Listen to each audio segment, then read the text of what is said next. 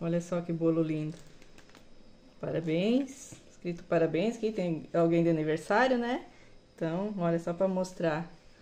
Bolo dois amores. Vamos, vamos cortar aqui uma fatia, né?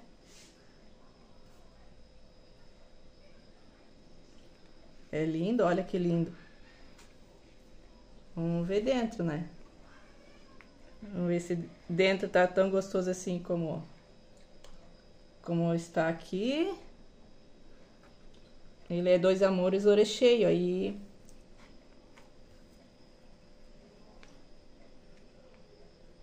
A massa é branca, olha só.